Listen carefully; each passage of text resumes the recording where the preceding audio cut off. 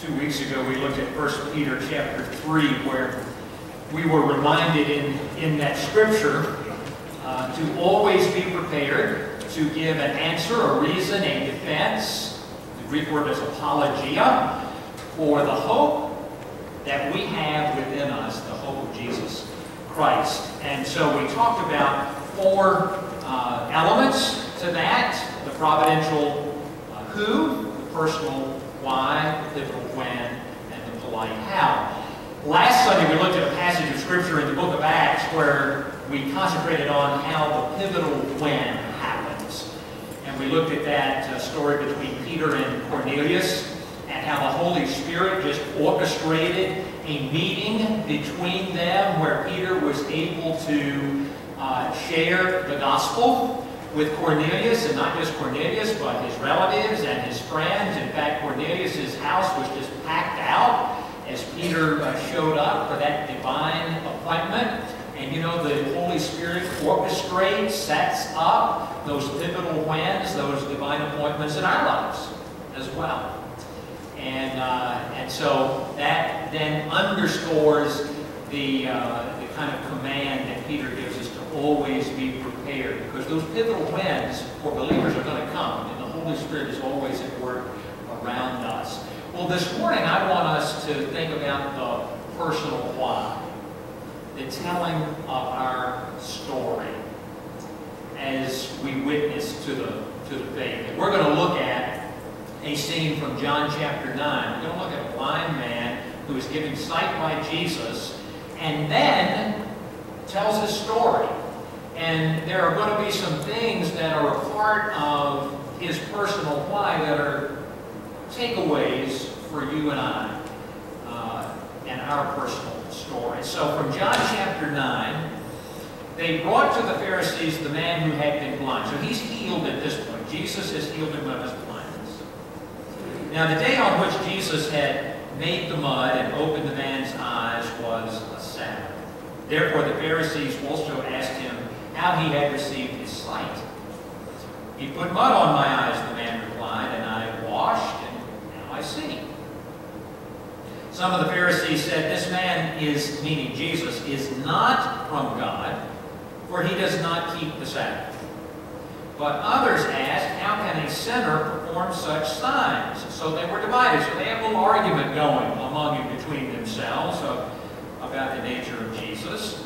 They then turned again to the blind man. What have you to say about him?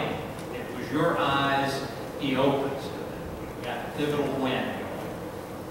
The man replied, He is a prophet.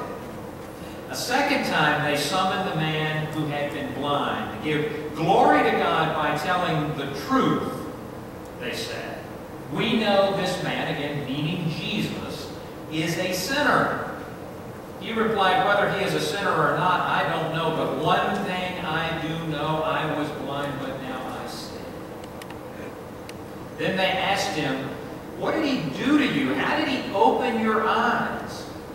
He answered, I have told you already, and you do not listen. Why do you want to hear it again? Do you want to become his disciples too?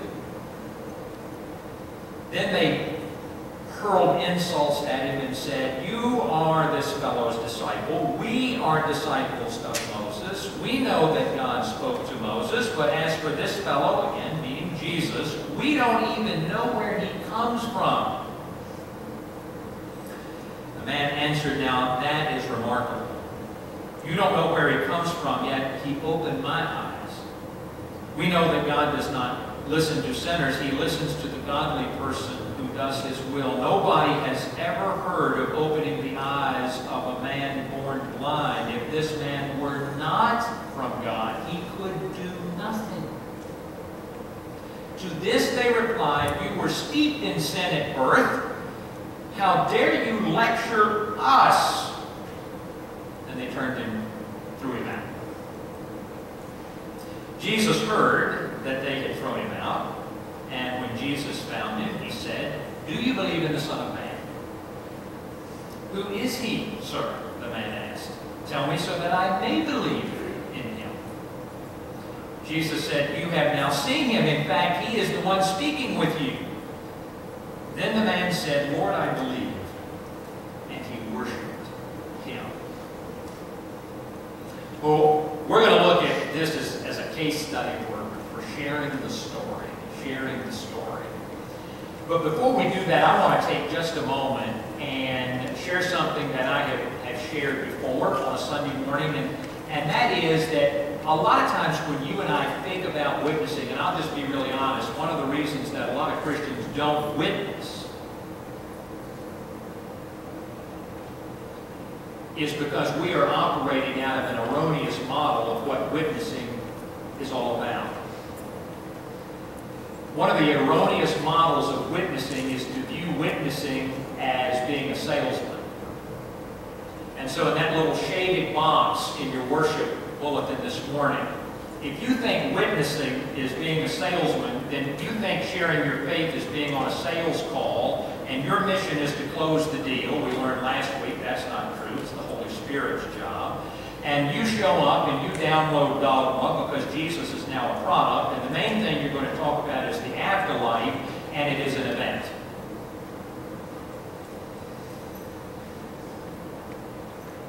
If that is the model witnessing for you. You think that's what witnessing is about, no wonder so few Christians do it. And it doesn't work that way.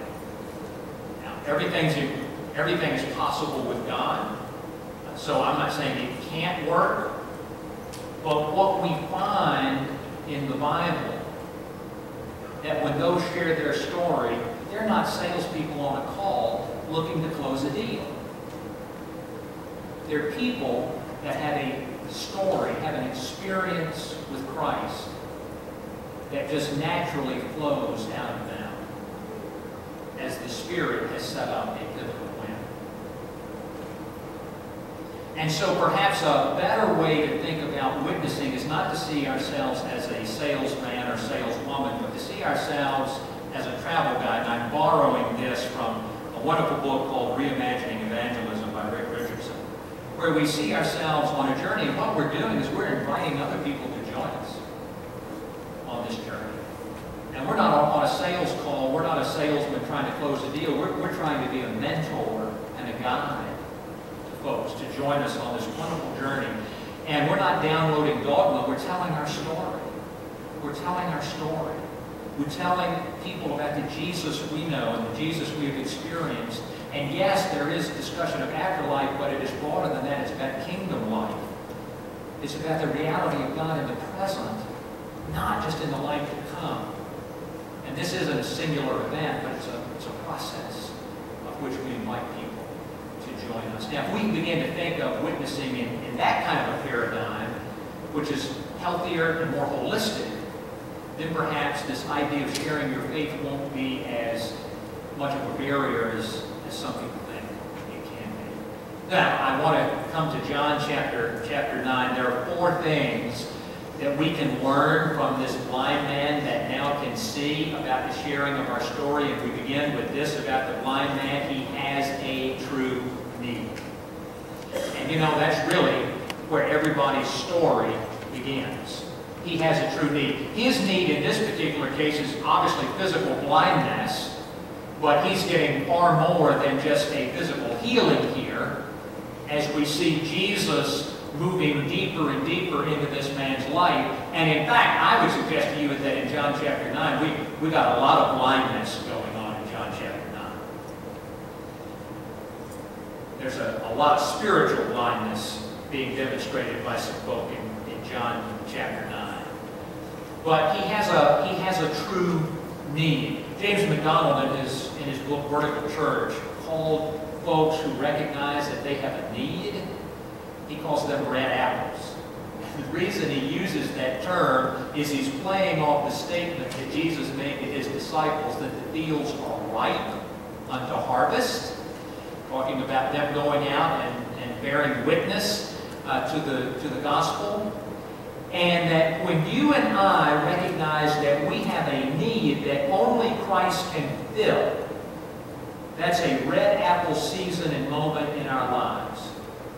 That's when you and I become open, really open, to the gospel and to the person and to the, the deity that was and is Jesus Christ.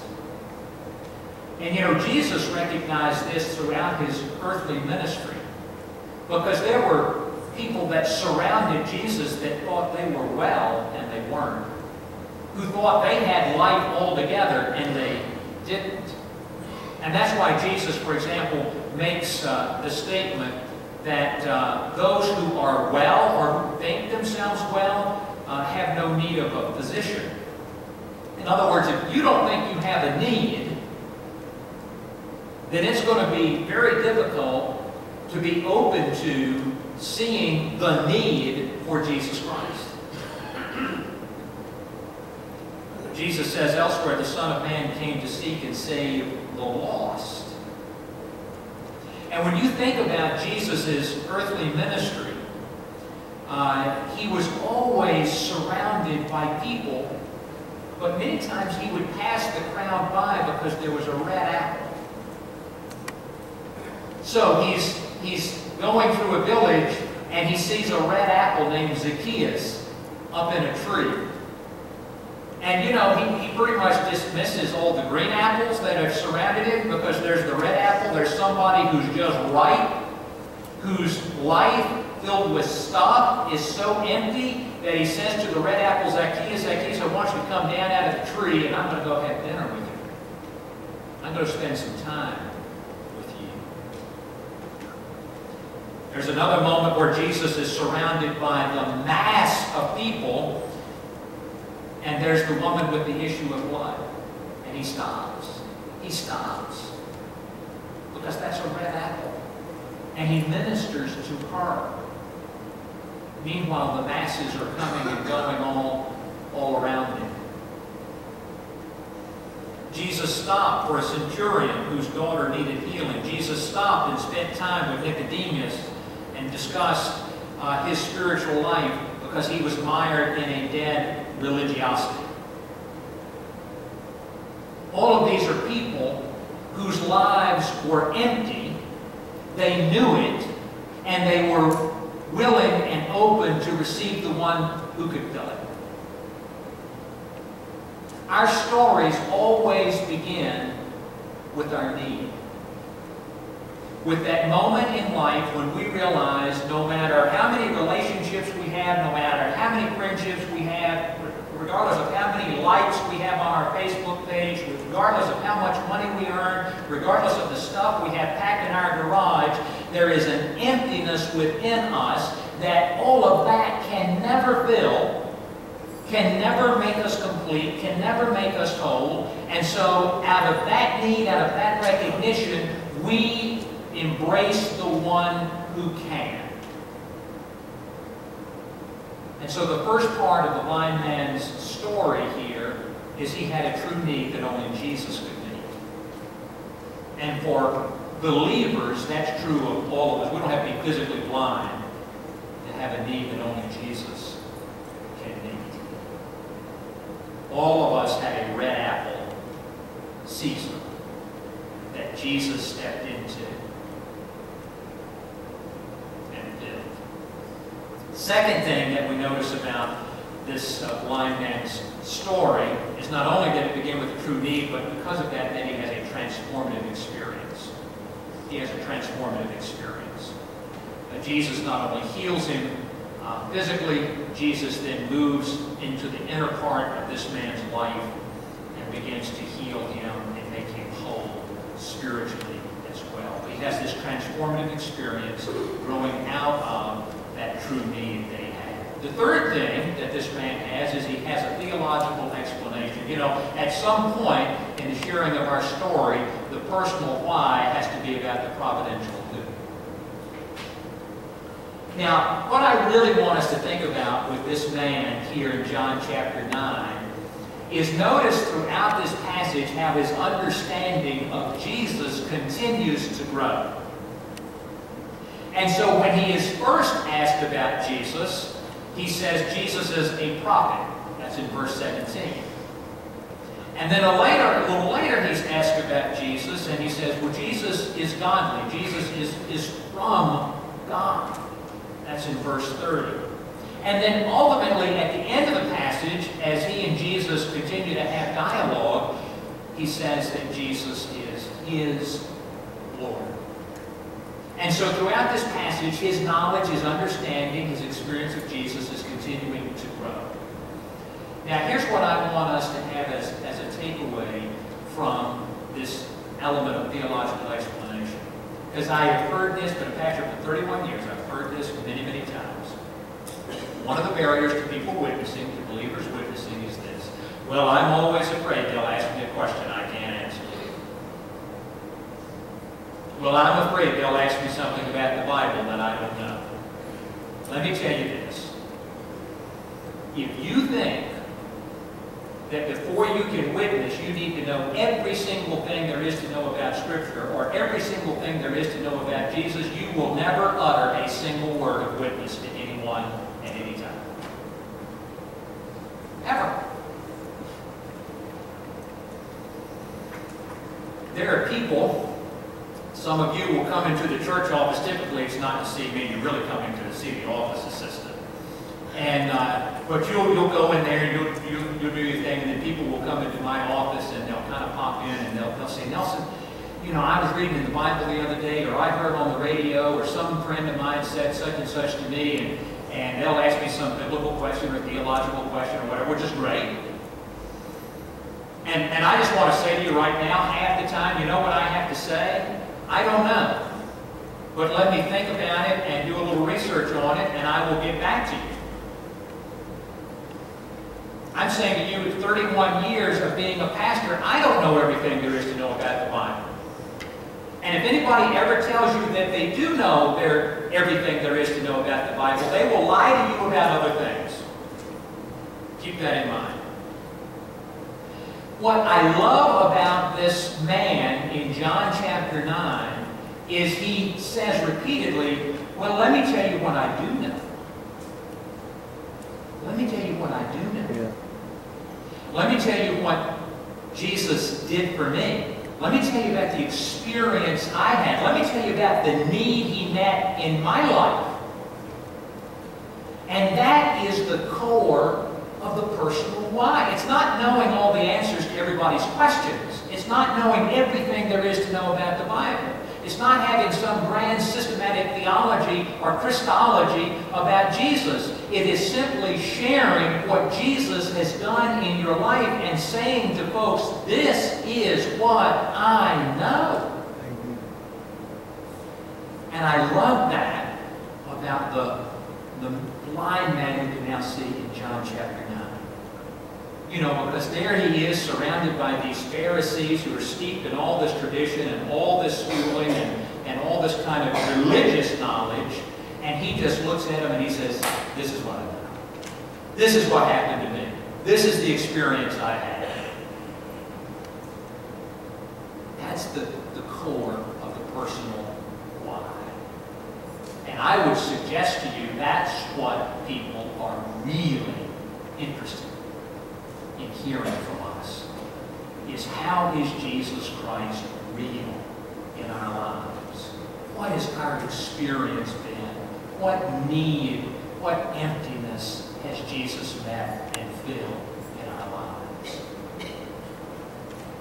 So we have the true need, we have the transformative experience, we have then the theological explanation, the personal why intersects with the, with the providential who, and then for me, the blind man in John chapter 9 is, is a tremendous example. You know, sometimes when we think about witnessing, in the back of our mind is always this haunting question, well, what will they say? What will people think? How will they react?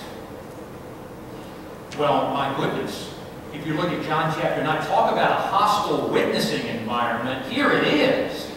Here it is.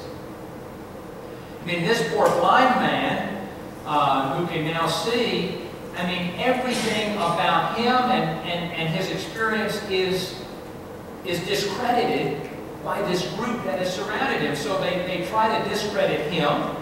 And one of the things that we didn't look at in John chapter 9, but which is there, is you know what they said?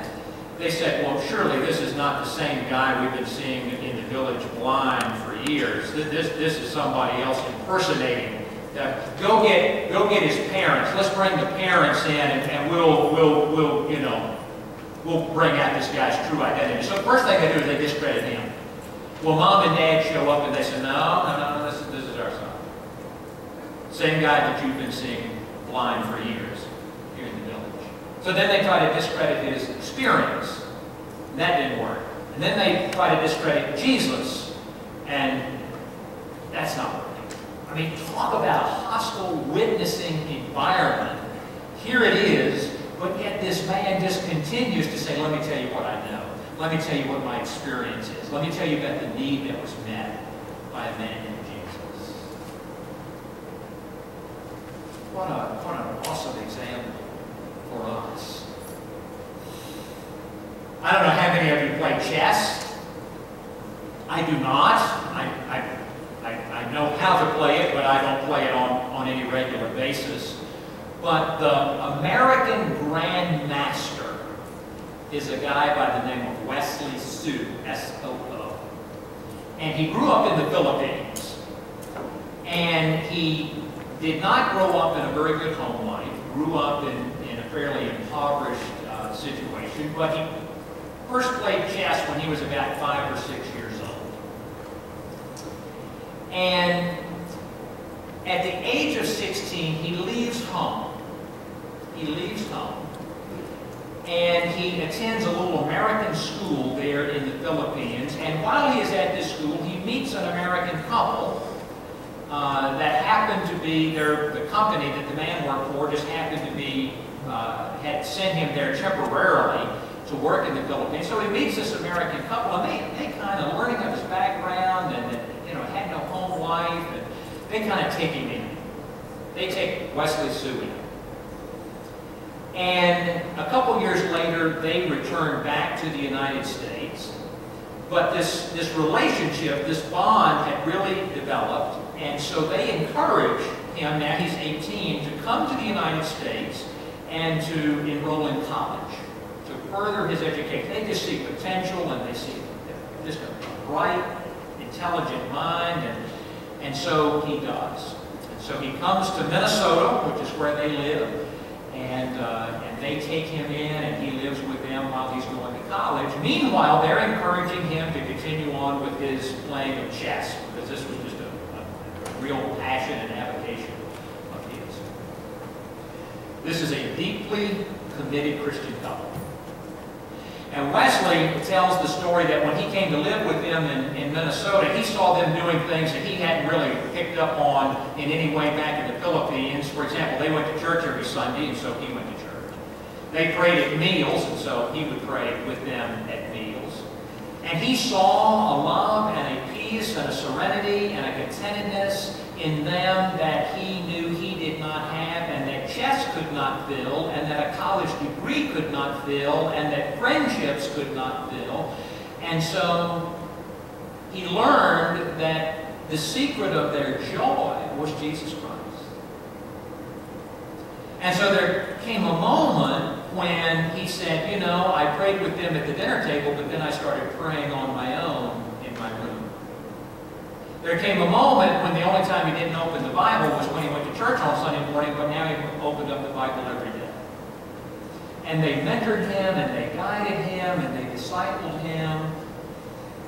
And he is, he is an amazing Christian today as a result of their witness, of their sharing their story about what Jesus had meant to them and what Jesus had done in their life. Now, I set all of that up for this. He is ranked number two in the world in chess. Number two in the world. And when he talks about grandmasters in chess, he says it's a very small universe. It's a very small universe. And when he shares his faith story, which he does on a regular basis, both in person and via his social media platforms. He says all of those folks in that little small universe of chess grandmasters, he gets a lot of ridicule. Because he said the problem with chess grandmasters is they think they're the most intelligent people on the planet. And they think because they're so super intelligent that any kind of faith is for the weak minded. But Wesley So has made an inroad into that small universe, not by being a salesman on a sales call trying to close a deal and dumping dogma, but by saying, let me tell you what Jesus Christ did in my life and what my experience has been my words, my personal why as an intersection with the providential. And so this morning, I want you to think about your personal faith story.